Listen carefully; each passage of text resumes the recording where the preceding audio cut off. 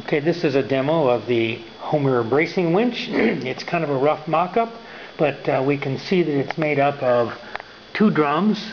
This one here is fixed to the axle, as we can see here.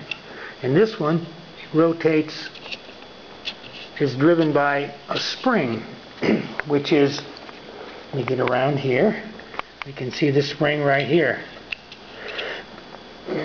When this is installed,